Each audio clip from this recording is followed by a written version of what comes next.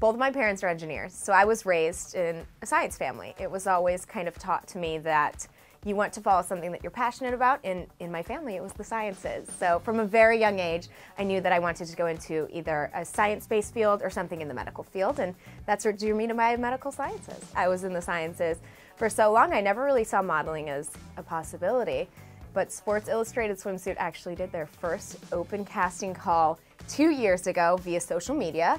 And when I saw it, I thought, this is my chance. It's always something that I've kind of wanted to do, never knew how to get into it, and I submitted a video via Instagram, and here I am.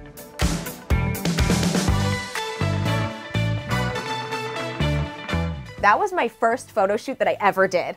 So Sports Illustrated Swimsuit really welcomed me into the family right away. I did like senior photos and then I went from that to doing Sports Illustrated Swimsuit. So I was very nervous in Belize. I had no clue what I was doing, and thankfully I shot with Yu Tsai, who is a world-renowned photographer, and he kind of helped me through it. So the beaches of Belize were my practicing ground for my Ricky shoot in Kenya.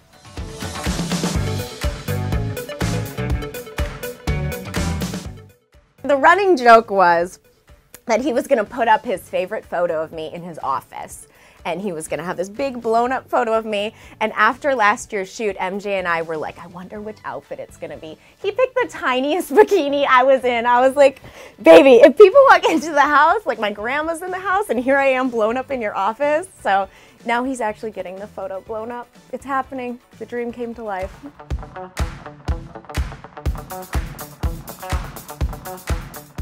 Kenya was magical. If you have not been to Kenya, go to Kenya. It's incredible. I actually shot on the beach, which I, you know, I'm really not great at geography. Science, I got you. Geography, not my strongest point. So when they told me I was shooting on the beach in Kenya, I didn't even really know that there were beautiful beaches in Kenya.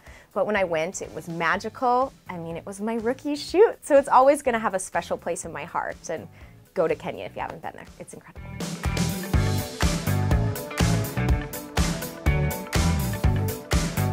You know, I am a huge nerd. So for me, before I shot for Sports Illustrated, I studied. I watched all of the best models. I watched Kate, I watched Chrissy, I watched Heidi, I watched all of these old videos to see how they moved their bodies and how they posed. And that was my way of getting ready for the shoot because, you know, before you take a big test, you gotta study. So I studied right before I shot my spread for Sports Illustrated Swim.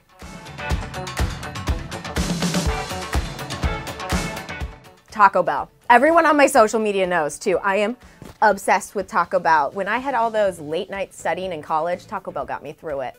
They're, they're my best friend. So I get the Chipotle chicken griller, chicken and cheese quesadilla, cinnamon twist, and a large Ceramist. It's my go-to every time.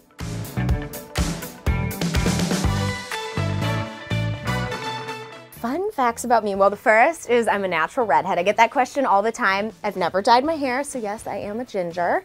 The second is that I'm double jointed and it creeps a lot of people out, but I have crazy, people call them witch hands, but I have crazy hands. And then the third fun fact is I'm obsessed with Lord of the Rings.